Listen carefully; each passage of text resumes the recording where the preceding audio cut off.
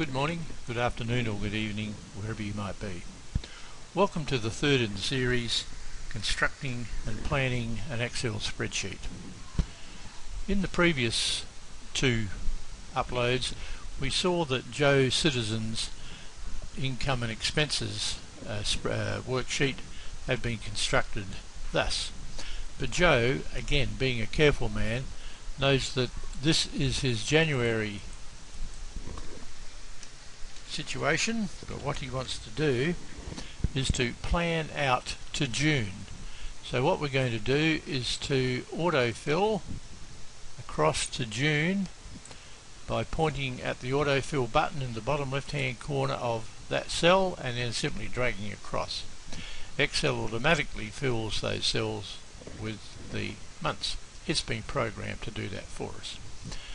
Now what we're going to do is to select all of the data down here because Joe is going to now use the autofill button down in the bottom right hand corner here and he will drag across to June and the cells are automatically filled. Now as I mentioned he knows that they were the figures for January but of course each month will vary a little bit from the other so we'll just make one or two changes that uh, Joe has said to us that these are the figures that will become involved in the next five months. So he knows, for example, that his salary in February will drop down to $7,800 and he knows that his uh, April income will increase to $8,550 and he knows also that May and June will be 7,900 and 8,100 respectively. He says that his investments uh, will only vary slightly. Uh, for example, the February investment will drop down to $78.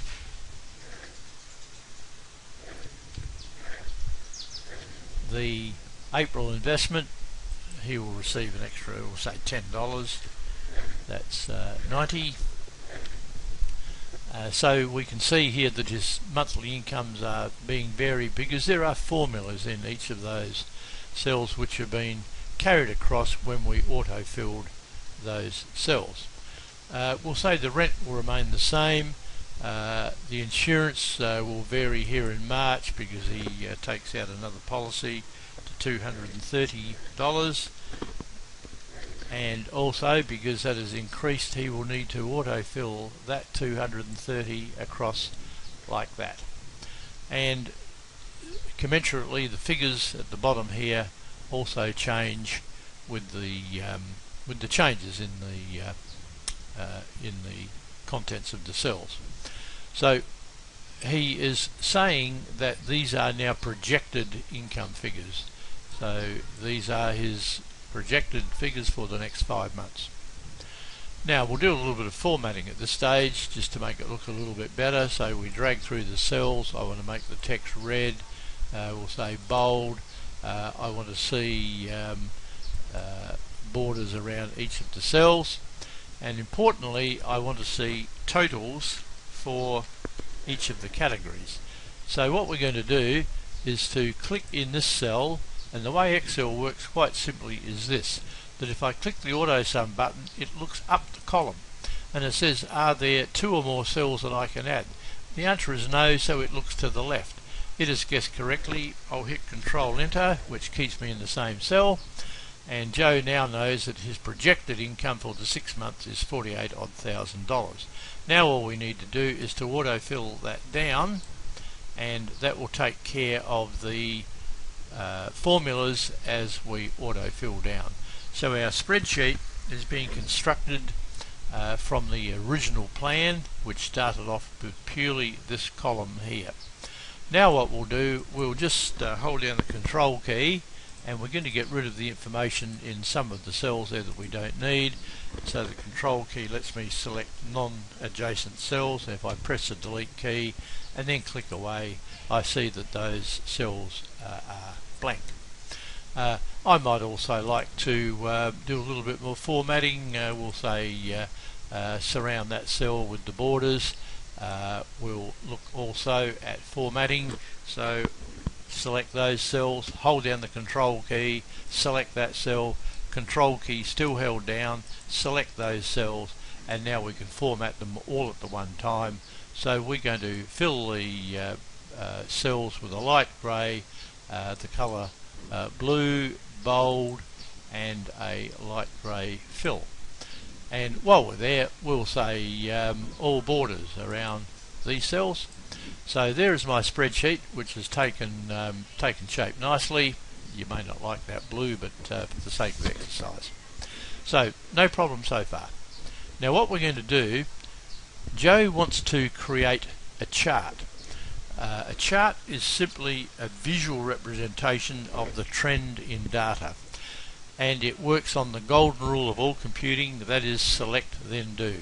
So I'm going to drag through those cells ensuring that I've included the total uh, the title hold down the control key drag through those cells control key still held down. I just want the net income down there as well. I could have included these other two but I don't particularly want to for whatever reason.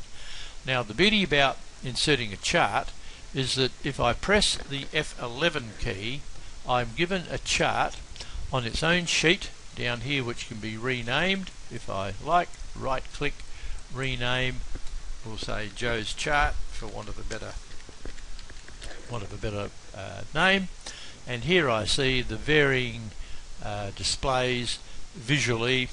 Uh, the total monthly income in blue the monthly expenses there in um, uh, an orangey colour and the net income in grey. So Joe has uh, an indication of what his uh, what the trends are in his income expenses and his net income.